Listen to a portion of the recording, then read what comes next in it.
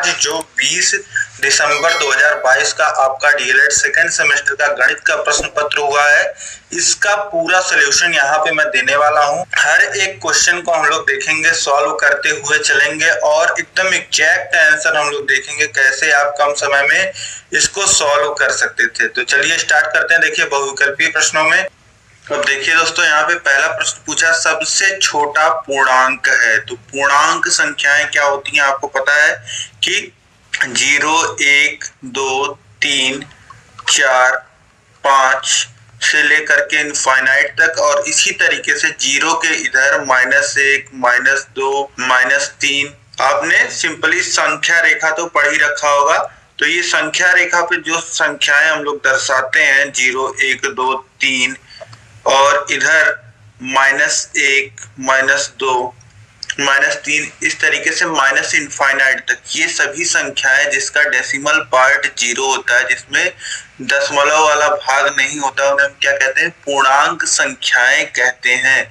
और इसमें आप देखिए, इन पूर्णांक संख्याओं में आपसे पूछ रहा सबसे छोटा पूर्णांक है तो सबसे छोटा पूर्णांक संख्या की अगर बात करें हम तो देखिए, ये देखिए, एक यहाँ पे है और शून्य यहाँ पे है, माइनस एक इधर। जैसे जैसे आप बाएँ तरफ़ संख्या रेखा पे बढ़ते जाते हैं, वैसे आपको छोटी संख्याएँ मिलती जाती हैं।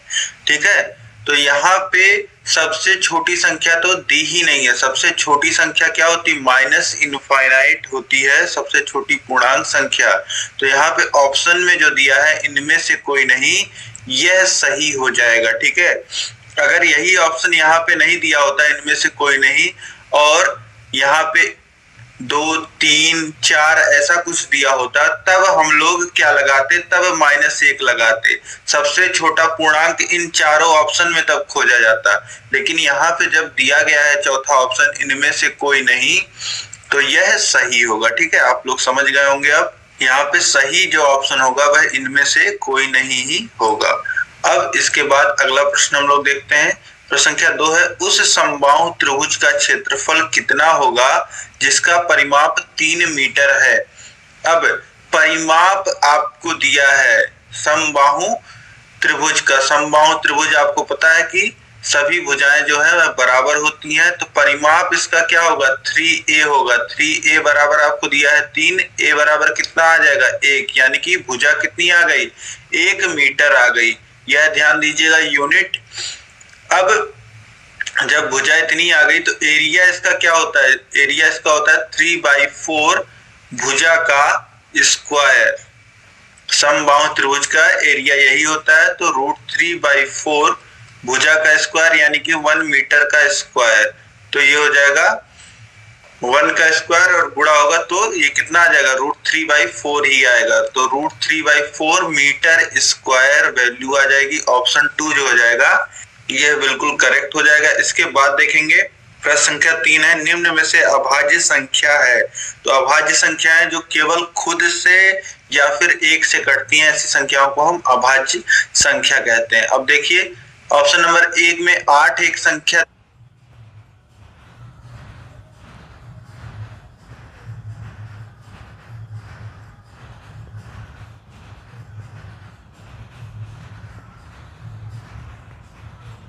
दी गई है, जो दो से चार से भी कटती है तो ये अभाज्य संख्या नहीं हुई तो ये ऑप्शन गलत हो जाएगा। इस तरीके से ऑप्शन तीन में आप देखोगे तो नौ जो है, वह तीन से एक से और खुद से कटता है तो ये भी आपको भाज्य संख्या मिल गई, और यहाँ छह भी भाज्य संख्या है। तो इस तरीके से ऑप्शन दो में आप देखोगे, ग्यारह, दो और तीन, ये तीनों ही संख्याएँ जो दी गई हैं, वह अभाज्य है। तो ऑप्शन टू करेक्ट हो जाएगा। इसके बाद देखिए प्रसंख्या चार है, परिमेय संख्या ऋण तीन बटे चार का योगात्मक एवं गुणात्मक प्रतिलोम होगा। तो ऋण तीन बटे चार संख्या है, इसका योगात्मक प्रतिलोम क्या होगा? किसी भी संख्या का योगात्मक प्रतिलोम क्या होता है? जिसमें उस संख्या में हम क्या जोड़ दें कि मान शून्य हो जाए। तो देखिए ए का जो मान आ जाएगा, ऋण तीन बटे चार को बराबर के उधर भेजेंगे? तो वैल्यू आ जाएगी तीन बटे चार, यानी कि योगात्मक प्रतिलोम इसका होगा तीन बटे चार, और गुणात्मक प्रतिलोम होता है, ऋण तीन बटे चार का गुणात्मक प्रतिलोम क्या होगा? वह संख्या जिससे में हम इस संख्या का गुणा कर दें तो मान एक आ जाए। तो अब देखिए, चार उधर जाएगा और ऋण तीन उधर जाएगा। तो ऋण चार बटे तीन, ये वैल्यू आ जाएगी। तो योगात्मक प्रतिलोम होगा तीन बटे चार और गुणात्मक प्रतिलोम हो जाएगा ऋण चार बटे तीन। तो ऑप्शन दो जो है, तीन बटे चार और ऋण चार बटे तीन, यह बिल्कुल सही हो जाएगा। इसके बाद देखिए प्रश्न संख्या पाँच है। निम्नलिखित में से रेखीय समीकरण कौन सा नहीं है? यह देखिए, कराया हुआ प्रश्न है, आपको मैंने कराया है। रेखीय समीकरण कौन सा नहीं है? तो देखिए, जहाँ x की घात एक होती है, उसे हम रेखीय समीकरण कहते हैं। तो यह रेखीय समीकरण है पहला, दूसरा भी रेखीय समीकरण है। तीसरे में देखिए, x की घात आपको यहाँ पे टू एक्स स्क्वायर में दो दिख रही है। तो यह दो ही घातीय समीकरण है। यानी कि ऑप्शन तीन जो हो जाएगा, यह सही हो जाएगा, यह रेखीय समीकरण नहीं है। इसके बाद देखिए अतिलघुत्री प्रश्नों को हम देखते हैं। तो विकल्पी प्रश्नों में पाँचों आपने देख लिया, उम्मीद सही किए होंगे। देखिए अतिलघुत्री प्रश्न में धन पूर्णांक फोर एक्स माइनस सिक्स के ठीक बाद का धन पूर्णांक ज्ञात कीजिए। तो कोई भी पूर्णांक है, जैसे पाँच है तो इसके बाद का अगर हमें धन पूर्णांक ज्ञात करना होता है तो इसमें हम एक जोड़ देते हैं। तो हमें मिल जाता है इसके बाद वाला धन पूर्णांक छह। तो इसी तरीके से आपको धन पूर्णांक दिया गया है, चार एक्स माइनस छह। के ठीक बाद का धन पूर्णांक ज्ञात कीजिए। तो इसके ठीक बाद का पूर्णांक ज्ञात करने के लिए इसमें धन एक जोड़ देंगे। तो ये हो जाएगा फोर एक्स माइनस फाइव। तो फोर एक्स माइनस सिक्स के ठीक बाद कौन सा धन पूर्णांक आएगा? Four x minus five. ठीक? अब इसके बाद देखिए प्रश्न संख्या सात है। ऋण दो बटे तीन धन ब्रैकेट में ऋण चार बटे पाँच, ऋण छह बटे सात को सरल कीजिए। तो इसका सोल्यूशन देखिए आप। देखिए, ब्रैकेट सब हटाइए। तो ऋण दो बटे तीन, फिर देखिए, धन का गुणा ऋण में होगा तो हो जाएगा ऋण क्योंकि अंदर जो है वह ऋण चार बटे पाँच है। तो ब्रैकेट खोलेंगे तो ये भी ऋण चार बटे पाँच हो जाएगा। फिर देखिए, ऋण छह बटे सात है। अब देखिए, सभी ऋणात्मक संख्याएँ हैं और सभी का जो हर है वह असमान है। तो इसको हम लोग हर को बराबर कर लेते हैं। हर को बराबर कैसे करेंगे? एलसीएम लेकर के। एलसीएम आप लोगे तो कितना आ जाएगा एलसीएम? एलसीएम आ जाएगा तीन गुड़े पाँच गुड़े सात, क्योंकि यह तीनों ही अभाज्य संख्याएँ हैं। तो कुछ ऐसा कुछ कॉमन मिलेगा नहीं तो यह हो जाएगा ऋण दो। तो गुड़े तीन बटे में है, पाँच और सात नहीं है तो पाँच और सात का गुड़ा हो जाएगा। फिर देखिए, ऋण चार के बटे में है पाँच और बटे में क्या नहीं है, तीन और सात नहीं है तो तीन और सात का गुड़ा हो जाएगा। इसी तरीके से यहाँ पे ऋण छह गुड़े बटे में है सात तो तीन और पाँच का गुड़ा हो जाएगा, तीन और पाँच का गुड़ा हो जाएगा।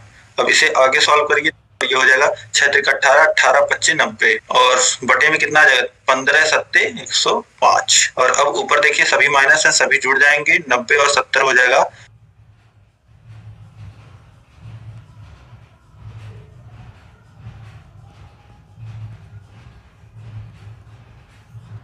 एक सौ साठ और चौरासी हो जाएगा, दो सौ चौवालीस।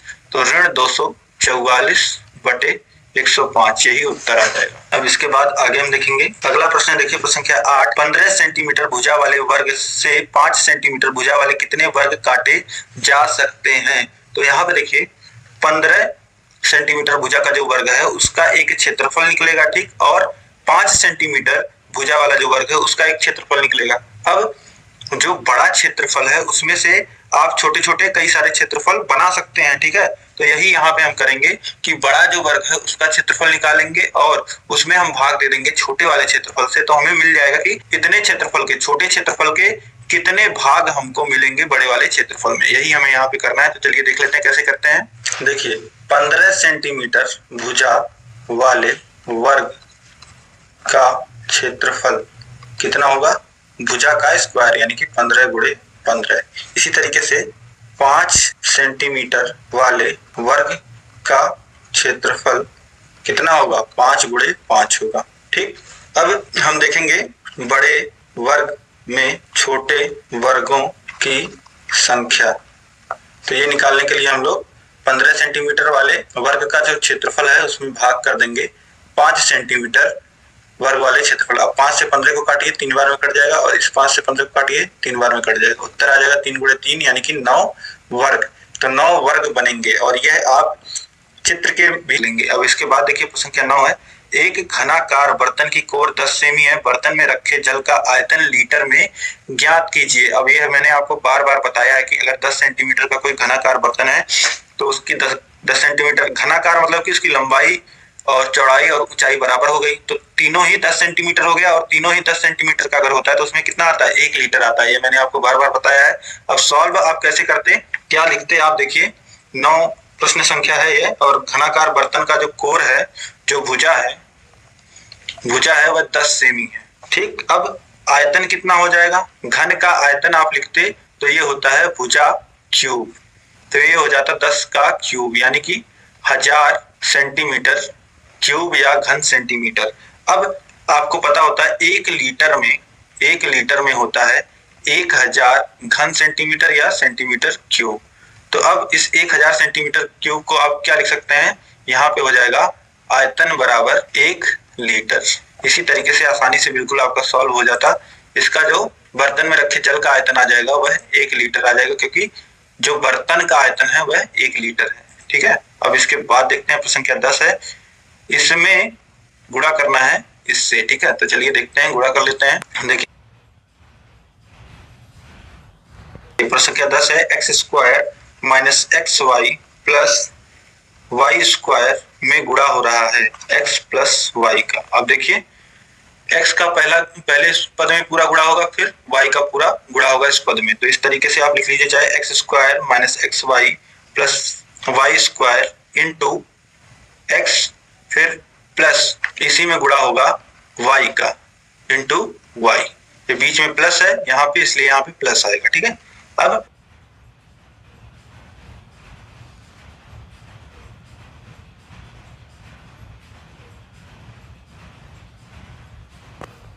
बराबर x का गुणा करिए।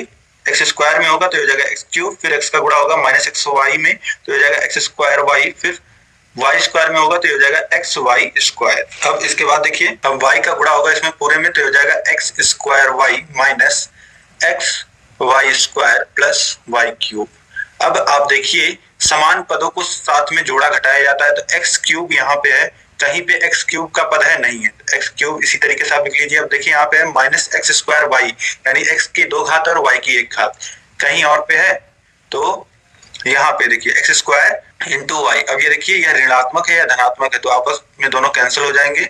वैल्यू आ जाएगी ज़ीरो, और इसी तरीके से यहाँ पे देखिए प्लस एक्स वाई स्क्वायर है, और यहाँ पे है माइनस एक्स वाई स्क्वायर तो ये भी आपस में कट जाएँगे, ये भी ज़ीरो हो जाएँगे, और बचा है देखिए वाई क्यूब तो वैल्यू कितनी आ जाएगी गुड़ा करने के बाद?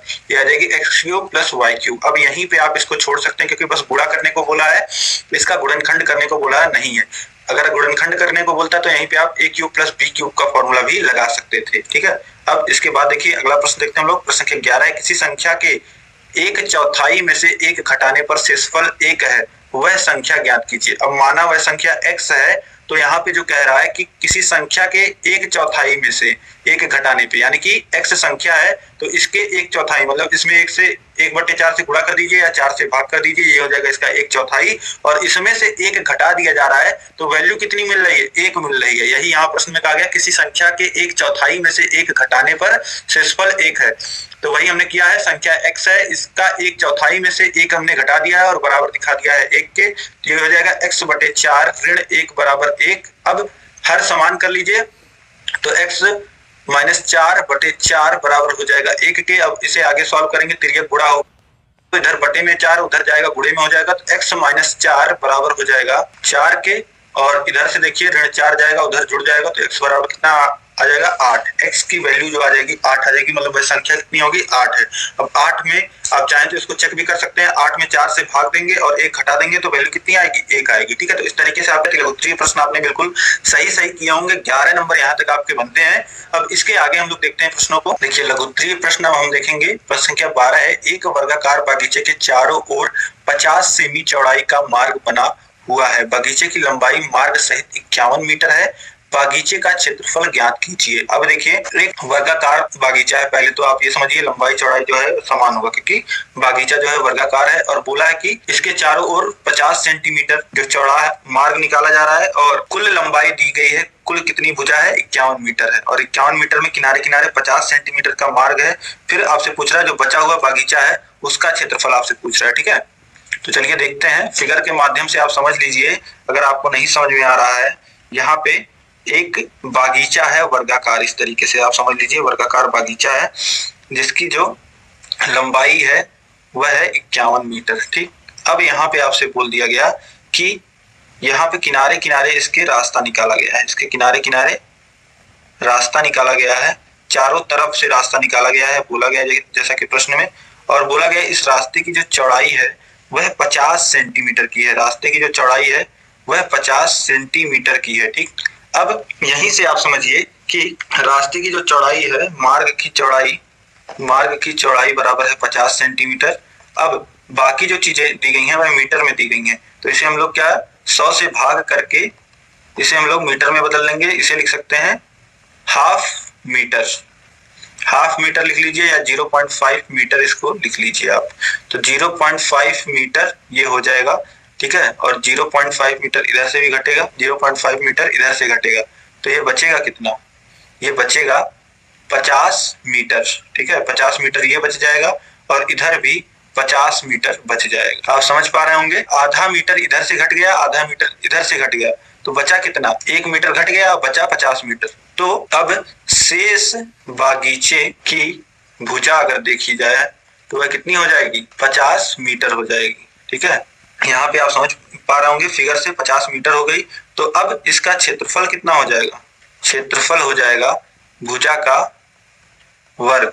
भुजा का वर्ग, यानी पचास का स्क्वायर ये हो जाएगा पच्चीस सौ मीटर स्क्वायर यही आपसे पूछ रहा है कि अब जो शेष बागीचा है, उसका क्षेत्रफल कितना होगा? उसका क्षेत्रफल होगा 2500 मीटर स्क्वायर तो ये समझ में आ गया होगा दोस्तों। अब आगे हम लोग देखते हैं। अगला प्रश्न है आपका, देखिए। प्रश्न संख्या तेरह। थोड़ा सा ट्रिकी क्वेश्चन आया था ये। हमेशा आपको एक घात द्विघात में देखने को मिलेंगे प्रश्न, लेकिन यह दो घात और तीन घात में है, ठीक है? ऐसा प्रश्न आप कम ही लोगों ने सॉल्व किया होगा, मुझे पता है। अब आगे देखते हैं इसका सोल्यूशन कैसे आप देखोगे प्रश्न संख्या तेरह का। वन बाई एक्स स्क्वायर बराबर कितना दिया गया है? Eighty two by nine. ये वैल्यू दी गई है और वैल्यू निकालनी किसकी? हमको x cube minus one by x cube की। इसकी वैल्यू हमको निकालनी है तो देखिए कैसे निकालेंगे। सबसे पहले हम लोग करते हैं x minus one by x की वैल्यू हम लोग निकालने का प्रयास करते हैं। तो देखिए x minus one by x का होल स्क्वायर इसका मान क्या होता है? A square plus b square यानी कि वन बाई एक्स का होल स्क्वायर यानी कि वन बाई एक्स का स्क्वायर फिर माइनस टू ए बी यानी कि ए कितना है? एक्स है और बी कितना है? वन बाई एक्स है। यहाँ पे हमने ए माइनस बी का होल स्क्वायर का फॉर्मूला लगाया है और कुछ नहीं किया है। अब देखिए, यहाँ पे x square plus one by x square बराबर देखिए x से x कट जाएगा, बचेगा ओनली माइनस टू अब देखिए, इसकी वैल्यू हमें पता है x square plus one by x square की वैल्यू है एटी टू बाई नाइन और माइनस टू अब इसे आगे सॉल्व करिए तो एट्टी टू हर समान करिए तो नौ का गुड़ा होगा ऊपर दो में, ये हो जाएगा माइनस अट्ठारह, और पूरे के बटे नौ. अब वैल्यू कितनी आ जाएगी? घटा लेंगे तो बयासी में से अट्ठारह जाएगा तो बचेगा चौसठ, और बटे में नौ. और ये हो गया x minus one by x के होल स्क्वायर की वैल्यू ठीक, अब x minus one by x की वैल्यू अगर हम निकालना चाहें तो ये हो जाएगा रूट में चौसठ बटे नौ। और ये हो जाएगा चौसठ कितना किसका स्क्वायर होता है? आठ का और नौ तीन का। तो इसे हम लोग लिख सकते हैं आठ बटे तीन। यानी कि x minus one by x की वैल्यू जो हो जाएगी वह आठ बटे तीन हो जाएगी। यह आपको मिल गया। अब इसके बाद यहाँ पे आपको फॉर्मूला लगाना था a cube minus b cube का। A cube minus b cube का फॉर्मूला आपको पता होता है। एक ब्रैकेट में होता है ए माइनस बी और दूसरे ब्रैकेट में होता है a square plus a b plus b square यहाँ पे आपको क्या, किसकी वैल्यू निकालनी है? X cube minus one by x cube की वैल्यू निकालनी है। तो देखिए ए की जगह है एक्स और बी की जगह है वन बाई एक्स ठीक है? तो अब यहीं से वैल्यूज़ पुट करिए। X minus one by x और दूसरे ब्रैकेट में है x square plus x into one by x plus one by x का स्क्वायर या सीधे लिख देंगे वन बाई एक्स का स्क्वायर अब इसका वैल्यू तो हमको निकालना ही है x cube minus one by x cube का। तो इसकी वैल्यू हमको पता है। X minus one by x की वैल्यू हमको पता है एट बाई थ्री तो रख दीजिए। अब इसके बाद आगे देखिए। इसको देखिए, लिख सकते हैं x square plus one by x square फिर प्लस वन एक्स से एक्स कट जाएगा। इस तरीके से हमने लिख दिया। एक्स स्क्वायर और वन बाई एक्स स्क्वायर को एक जगह लिखा हमने और बस कुछ नहीं किया है। और यहाँ से आगे देखेंगे आप एट बाई थ्री और इन टू इसको कितना हम लोग लिख सकते हैं? X square plus one by x square को? जैसा कि हमें वैल्यू वैल्यू दिया गया क्वेश्चन में, हम लोग लिख सकते हैं eighty two by nine plus one हो जाएगा। अब इसके बाद आगे सॉल्व करेंगे तो हो जाएगा एट बाई थ्री इंटू हर समान कर लेंगे तो आ जाएगा नौ और नौ जुड़ जाएगा बयासी में, ये हो जाएगा इक्यानवे। अब देखिए, तीन का गुड़ा नौ में होगा तो सत्ताईस और आठ का गुड़ा होगा इक्यानवे में तो आठ और नौ अट्ठे बहत्तर। तो हो जाएगा सात सौ अट्ठाईस बटे सत्ताईस, यानी कि x cube minus one by x cube की वैल्यू कितनी आ जाएगी? सात सौ अट्ठाईस बटे सत्ताईस। सात सौ अट्ठाईस बटे सत्ताईस वैल्यू आ जाएगी, ठीक है? तो इस तरीके से आप आसानी से हल कर सकते थे। अब इसके बाद देखिए प्रश्न संख्या चौदह है, माँ की आयु, पिता की आयु से पाँच वर्ष कम है, दस वर्ष पूर्व दोनों की आयु का अनुपात पाँच अनुपात छह था। माँ की वर्तमान आयु ज्ञात कीजिए। अब यहाँ पे एक दंपत्ति की बात हो रही है, एक माता पिता की बात हो रही है, जिसमें बात ये हो रही है कि माता की जो आयु है प्रेजेंट समय में वह पिता की आयु से पाँच वर्ष कम है। और अगर दस साल पहले की बात की जाए तो दोनों के आयु में जो अनुपात था, वह पाँच अनुपात छह का था। तो माँ माँ की जो वर्तमान आयु है, वह ज्ञात करना है आपको। चलिए देखते हैं किस प्रकार से। सबसे पहले जो आपको ज्ञात करना है, वही हम लोग यहाँ पे मान लेते हैं। जो माता की वर्तमान आयु है, वह हम लोग मान लेते हैं माँ की आयु। माना माँ की आयु, लिखिएगा, बराबर एक्स है, ठीक है? तो पिता की आयु कितनी हो जाएगी? पिता की आयु, माता की आयु, पिता की आयु से पाँच वर्ष कम है तो पिता की आयु कितनी हो जाएगी? एक्स धन पाँच हो जाएगी, क्योंकि माता की एक्स है तो पिता की उससे पाँच ज़्यादा होगी एक्स धन पाँच। और दस वर्ष पूर्व की अगर हम बात करते हैं तो माता की आयु कितनी होगी? माँ की आयु, माता की आयु, माता की आयु होगी एक्स माइनस दस, और पिता की आयु, पिता की आयु होगी एक्स धन पाँच ऋण। दस, यानी कि एक्स ऋण पाँच हो जाएगा। पिता की आयु। अब दस वर्ष पूर्व की ही बात कर रहा है, जो अनुपात दिया गया हमें, अनुपात जो दिया गया है, माता और पिता के आयु में जो अनुपात है, वह कितना दिया गया है? वह अनुपात हमें यहाँ पे दिया गया है पाँच अनुपात छह का, यानी कि पाँच बटे छह लिख सकते हैं इसे। और दस वर्ष पूर्व की ही बात हो रही है तो माता की आयु, यानी कि एक्स ऋण छह बटे एक्स ऋण पाँच बराबर हो गया है पाँच बटे छह के। तो अब यहाँ से क्रिया गुणा कर लीजिए। तो छह का गुणा होगा एक्स ऋण दस में और पाँच का गुणा होगा एक्स ऋण पाँच में, ठीक है? अब गुणा करिए हो जाएगा छह एक्स माइनस छह का गुणा दस में साठ और पाँच एक्स माइनस पच्चीस, ठीक है? अब पाँच एक्स को इधर ले आइए, छह एक्स में से घट जाएगा, बचेगा एक्स और ऋण साठ उधर जाएगा तो धन साठ हो जाएगा। एक्स की वैल्यू कितनी आ जाएगी? पैंतीस आ जाएगी थर्टी फाइव जो माता की वर्तमान आयु हो जाएगी वह कितनी हो जाएगी? पैंतीस वर्ष हो जाएगी, ठीक है? इसके बाद देखिए दोस्तों, प्रश्न संख्या पंद्रह है। एक कमरे की लंबाई चौसठ मीटर और सात सेंटीमीटर है तथा चौड़ाई है बीस मीटर और इक्कीस सेंटीमीटर। उस बड़ी से बड़ी वर्गाकार टाइल की भुजा ज्ञात कीजिए, जिससे टाइल को बिना तोड़े फर्श में लगाया जा सके। अब यहाँ पे समझिए कि एक कमरा है, उसमें टाइल्स लगनी है, ठीक है? और यहाँ पे आपसे पूछ रहा है कि हमें बड़ी से बड़ी टाइल्स लगानी है और टाइल्स कोई टूटे ना, यह हमें काम करना है, ठीक है? तो देखिए, ऐसी टाइल्स चाहिए होगी जो चौड़ाई को भी पूरा पूरा ढक रही हो और साथ साथ लंबाई को भी पूरा पूरा ढक रही हो। और टाइल्स जो होगी, वह वर्गाकार होगी, यह आपको ध्यान में रखना है, ठीक है? टाइल्स की तो टाइल्स अपने आप में तो वर्गाकार होगी, लंबाई, चौड़ाई उसकी समान होगी, लेकिन वहाँ पे टाइल्स को तोड़ना नहीं है, पूरी तरीके से लंबाई और चौड़ाई में सेट करना है। तो यह कैसे निकालते हैं हम लोग? यह हम लोग निकालते हैं महत्तम समापवर्तक के द्वारा H C F highest common factor के द्वारा। अब देखिए कैसे सॉल्व करेंगे इसको। देखिए जो लंबाई है कमरे की कमरे की लंबाई की अगर हम बात करें तो लंबाई है चौसठ मीटर और सात सेंटीमीटर इसको पूरे को आप सेंटीमीटर में लिख लीजिए तो ये हो जाएगा मीटर को बदलेंगे तो जाएगा चौसठ सौ सेंटीमीटर धन सात सेंटीमीटर यानी कि चौसठ सौ सात सेंटीमीटर हो जाएगा ये। और इसी तरीके से चौड़ाई को लिख लीजिए, चौड़ाई जो हो जाएगा? हमें दिया गया है बीस मीटर। और 21 सेंटीमीटर। अब इसे आप लिखोगे तो आ जाएगा 20 का 2000 और 21 2021 सेंटीमीटर। ठीक? अब यही लंबाई चौड़ाई है कमरे की। अब यहाँ पे अगर हम चाहते हैं कि बड़ी से बड़ी टाइल्स लगाएँ, ठीक है? और वर्गाकार टाइल्स है तो यहाँ हमें इन दोनों का एचसीएफ लेना होगा। H highest common factor of चौसठ सेंटीमीटर और 2021 सेंटीमीटर। अब देखिए, चौसठ सौ सात को कितना लिख सकते हैं? इसका गुणनखंड अगर हम लोग करते हैं तो इसको लिखा जा सकता है तिरालीस गुड़े एक सौ उनचास। और किसी से देखिए, यह नहीं कटेगा।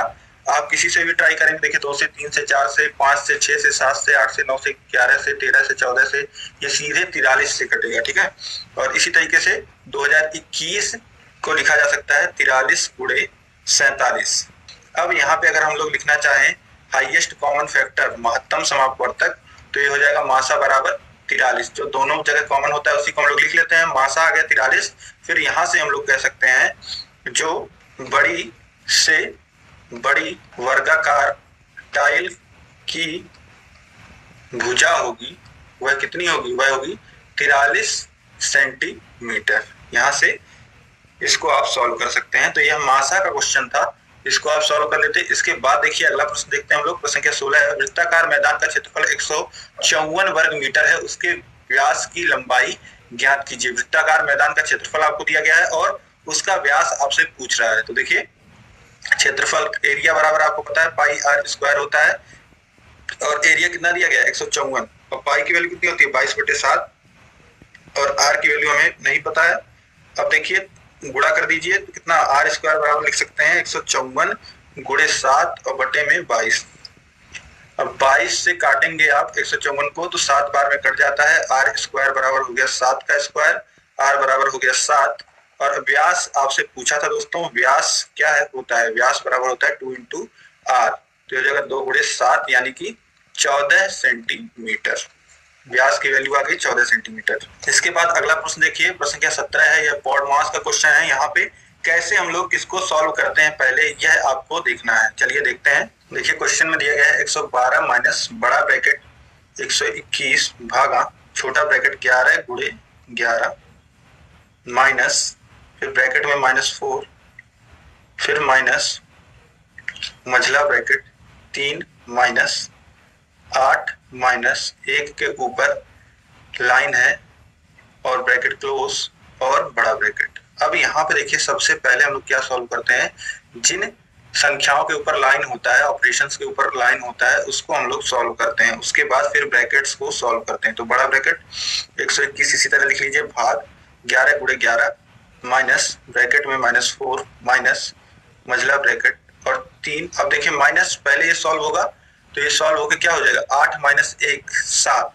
तो ये आ जाएगा माइनस सात। ब्रैकेट क्लोज अब इसके बाद देखिए, एक सौ बारह माइनस बड़ा ब्रैकेट एक सौ इक्कीस भागा। अब छोटे ब्रैकेट सॉल्व होना स्टार्ट होंगे। अब सभी ब्रैकेट्स में जितनी चीज़ें हैं तो ग्यारह गुड़े ग्यारह कितना हो जाएगा? एक सौ इक्कीस आ जाएगा। फिर माइनस यहाँ ब्रैकेट खोल देंगे। और कुछ नहीं करना है तो हो जाएगा प्लस चार। फिर यहाँ माइनस है। अब देखिए बड़े, यहाँ मजले ब्रैकेट में तीन माइनस चार तो बचेगा माइनस चार, फिर ब्रैकेट खुलेगा तो ब्रैकेट के बाहर है माइनस माइनस चार में माइनस का गुड़ा हो जाएगा, ये हो जाएगा प्लस चार। ठीक? ब्रैकेट क्लोज इसके बाद देखिए, एक सौ बारह माइनस अब देखिए 121 भागा 121 है। अब यहाँ बड़े ब्रैकेट में आप देखोगे तो अब इस बड़े ब्रैकेट को हम सॉल्व करेंगे और इसमें आप देखेंगे तो भाग का चिन्ह है और तो धन का चिन्ह है। तो सबसे पहले भाग के चिन्ह को सॉल्व करेंगे। तो एक सौ इक्कीस बटे एक सौ इक्कीस हो जाएगा, धन चार धन चार कितना हो जाएगा? आठ हो जाएगा पहले इसी को कर लेते हैं। तो धन चार धन चार इसी तरीके से अभी लिखिए। अब इसके बाद देखिए 112 माइनस एक, धन चार धन चार, इस तरीके से हो जाएगा। अब यहाँ पे ब्रैकेट में जितनी चीज़ें हैं, उनको जोड़ लीजिए अब। केवल प्लस का चिन्ह बचा है तो ब्रैकेट में आ जाएगा नौ। अब ब्रैकेट खुलेगा तो 112 माइनस नौ आएगा, और नौ घटा दीजिए 112 में से।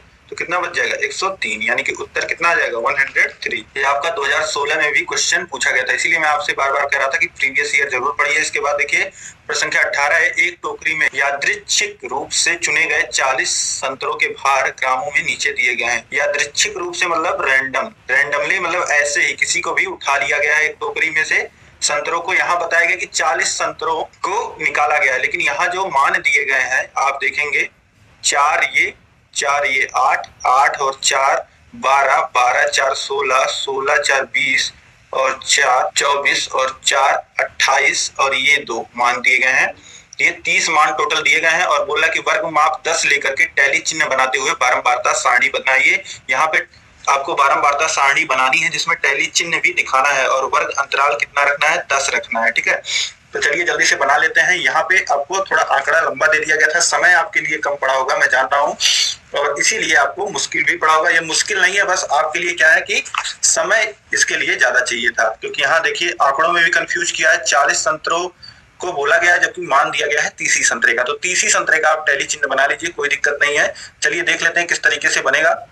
सबसे पहले जो भी आंकड़े दिए गए हैं उनको हम लोग एक क्रम में, आरोही क्रम में लिख लेते हैं, जो भी आंकड़े दिए गए हैं। आप आंकड़ों को ध्यान से देखेंगे तो तीस आपको तीन बार लिखा हुआ मिलेगा। इसी तरीके से पैंतीस एक बार लिखा हुआ मिलेगा। चालीस आपको यहाँ पे तीन बार लिखा हुआ मिलेगा और पैंतालीस आपको तीन बार लिखा हुआ मिलेगा और पचास एक बार लिखा हुआ मिलेगा। साथ ही इसके बाद देखिए, पचपन आपको तीन बार लिखा हुआ मिलेगा। साठ जो है, वह तीन बार लिखा हुआ मिलेगा। पैंसठ जो है, वह आपको दो बार लिखा हुआ मिलेगा।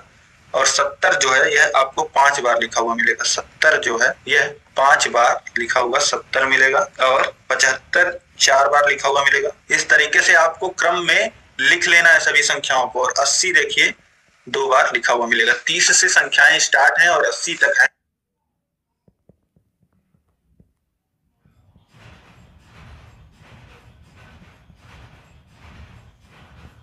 और आपको यहाँ पे मैंने बता दिया कौन सी संख्या कितनी बार आ रही है। मतलब तीन संतरे तीस ग्राम के हैं, एक संतरा पैंतीस का है और तीन संतरे चालीस ग्राम के हैं, इस तरीके से हैं। अब यहाँ पे आपको टैली चिन्ह बारंबारता सारणी बनानी है, टैली चिन्ह भी बनाना है। तो सबसे पहले देखिए वर्ग।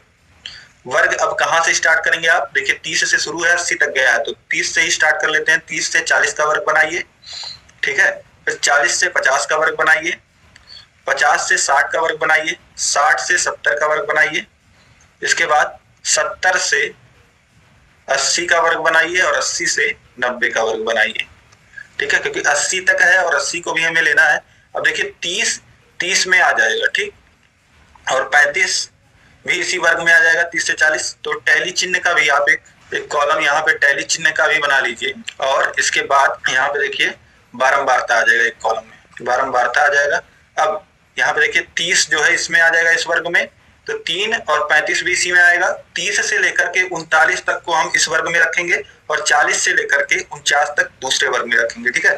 तो यहाँ पे देखिए, तीस तीन है, पैंतीस एक है। तो कितनी संख्याएँ हो गई चार। तो चार पाई खींच दीजिए, ये चार हो जाएगा टैली चिन्ह और बारंबारता में चार इस तरीके से लिख दीजिए। इसके बाद देखिए, चालीस की तीन और पैंतालीस की तीन और पचास को नहीं लेंगे तो छह। तो यहाँ पे छह का टैली चिन्ह आप बनाएँगे और छह यहाँ बारंबारता लिखेंगे। तो छह का टैलीचिन किस तरीके से बनाएँगे? इसमें देखिए, छह को कैसे दिखाते हैं? चार लाइन आप खींच देंगे फिर पाँच दिखाने के लिए इस तरह इसको काट देते हैं और एक लाइन और बना दीजिएगा, ये हो जाएगा छह। इसके बाद देखिए, पचास से साठ को तो पचास से साठ प्रश्न संख्या अठारह है, एक टोकरी में यादृच्छिक रूप से चुने गए 40 संतरों के भार ग्रामों में नीचे दिए गए हैं। यादृच्छिक रूप से मतलब रैंडम रैंडमली मतलब ऐसे ही, किसी को भी उठा लिया गया है एक टोकरी में से। संतरों को यहाँ बताया गया कि 40 संतरों को निकाला गया है। लेकिन यहाँ जो मान दिए गए हैं, आप देखेंगे, चार ये चार ये आठ आठ और चार, बारह बारह, चार, सोलह सोलह, चार, बीस और चार, चौबीस और चार, अट्ठाईस और ये दो मान दिए गए हैं। ये तीस मान टोटल दिए गए हैं और बोला कि वर्ग माप दस लेकर के टैली चिन्ह बनाते हुए बारंबारता सारणी बनाइए यहाँ पे आपको बारंबारता सारणी बनानी है, जिसमें टैली चिन्ह भी दिखाना है और वर्ग अंतराल कितना रखना है? दस रखना है, ठीक है? तो चलिए जल्दी से बना लेते हैं। यहाँ पे आपको थोड़ा आंकड़ा लंबा दे दिया गया था। समय आपके लिए कम पड़ा होगा, मैं जान रहा हूँ। और इसीलिए आपको मुश्किल भी पड़ा होगा। ये मुश्किल नहीं है, बस आपके लिए क्या है कि समय इसके लिए ज़्यादा चाहिए था? क्योंकि यहाँ देखिए, आंकड़ों में भी कंफ्यूज किया है। चालीस संतरों को बोला गया है, जबकि मान दिया गया है तीसरी संतरे का। तो तीसरी संतरे का आप टैली चिन्ह बना लीजिए, कोई दिक्कत नहीं है। चलिए देख लेते हैं किस तरीके से बनेगा। सबसे पहले जो भी आंकड़े दिए गए हैं, उनको हम लोग एक क्रम में, आरोही क्रम में लिख लेते हैं। जो भी आंकड़े दिए गए हैं, आप आंकड़ों को ध्यान से देखेंगे तो तीस आपको तीन बार लिखा हुआ मिलेगा। इसी तरीके से पैंतीस एक बार लिखा हुआ मिलेगा। चालीस आपको यहाँ पे तीन बार लिखा हुआ मिलेगा और पैंतालीस आपको तीन बार लिखा हुआ मिलेगा और पचास एक बार लिखा हुआ मिलेगा। साथ ही इसके बाद देखिए, पचपन आपको तीन बार लिखा हुआ मिलेगा। साठ जो है, वह तीन बार लिखा हुआ मिलेगा। पैंसठ जो है, वह आपको दो बार लिखा हुआ मिलेगा। और सत्तर जो है, यह आपको पाँच बार लिखा हुआ मिलेगा। सत्तर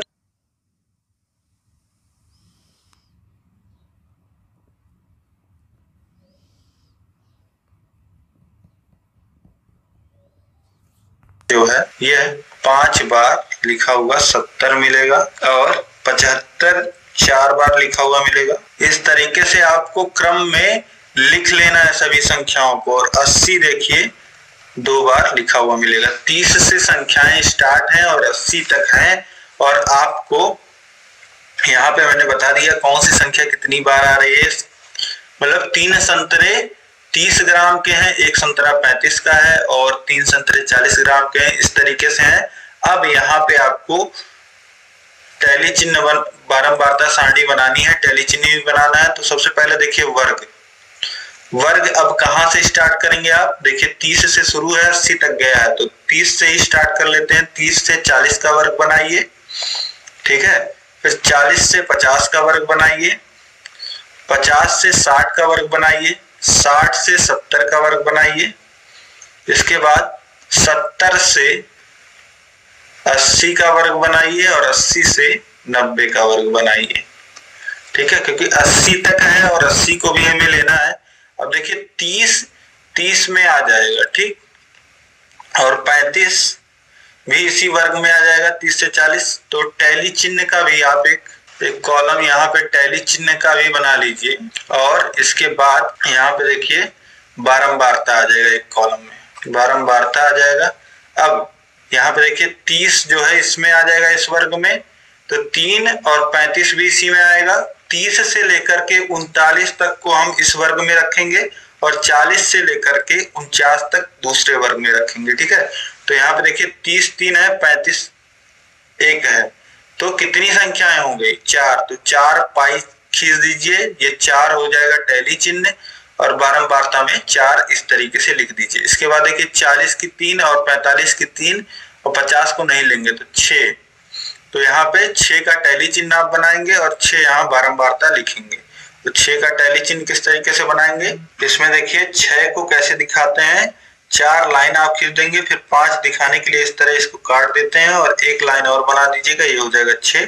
इसके बाद देखिए, पचास से साठ को तो पचास से साठ में पचास आ रहा है, पचपन तीन आ रहा है तो ये इसका कितना हो जाएगा? इसका चार हो जाएगा बारम्बारता क्योंकि इसमें चार संख्याएँ आ रही हैं। तो ये चार और चार का टैली चिन्ह बना दीजिए, चार लाइन। इसी तरीके से साठ से सत्तर के बीच में देखिए तो साठ तीन आ रहा है, पैंसठ दो आ रहा है तो इसका भी टैली चिन्ह कितना हो जाएगा? इसकी बारंबारता हो जाएगी पाँच, और टैली चिन्ह इस तरीके से बना दीजिए, चार खड़ी लाइन और कट लगा दीजिए, ये हो जाएगा पाँच। अब इसके बाद सत्तर से अस्सी में देखिए तो सत्तर पाँच आ रहा है और पचहत्तर चार आ रहा है तो नौ हो जाएगा। इसका जो बारंबारता हो जाएगा नौ, टैली चिन्ह बनाइए, एक, दो, तीन, चार, और ये हो गया पाँच, फिर छ, सात, आठ, नौ। ठीक, इसके बाद अस्सी से नब्बे में, अस्सी देखिए दो आ रहा है तो दो खड़ी पाई, और यहाँ पे बारंबारता दो, और बारंबारता का अगर आप योग लोगे यहाँ पे तो कितना आएगा? तीस आएगा। दो और नौ ग्यारह, और पाँच सोलह चार बीस और छह छब्बीस और चार तीस। तो यहाँ पे बारंबारता तीस आ गई। आपको तीस संतरों का यहाँ पे संख्या दिया है।